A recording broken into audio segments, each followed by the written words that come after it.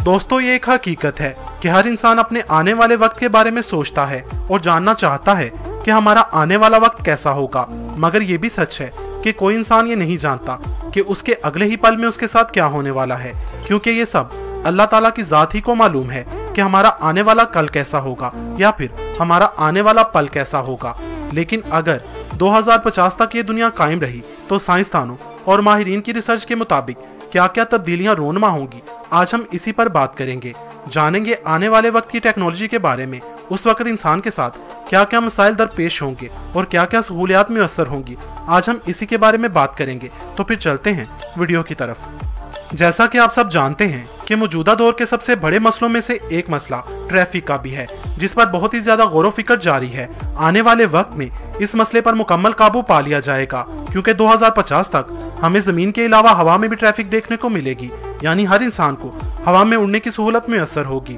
मौजूदा दौर के jet pack aviation flyboard air और आर्का बोर्ड वगैरह इस रेवोल्यूशन की बड़ी मिसालें हैं।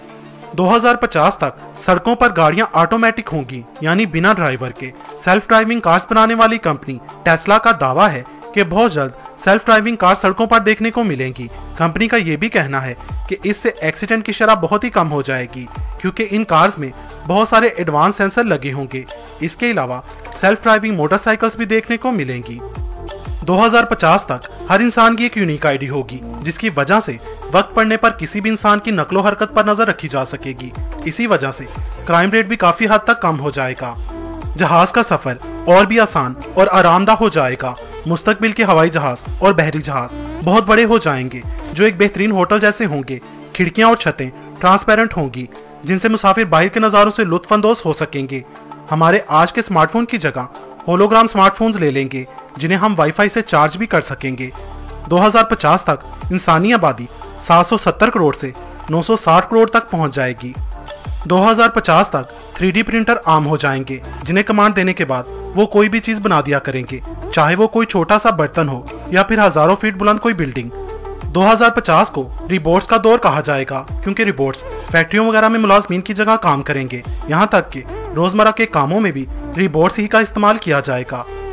इन सब सहूलियात से बेरोजगारी बहुत ही बढ़ जाएगी। इंसान की लाइफ पूरा मन और कंफर्टेबल बनाने के लिए तरह तरह के गैजेट्स तैयार किए जाएँगे।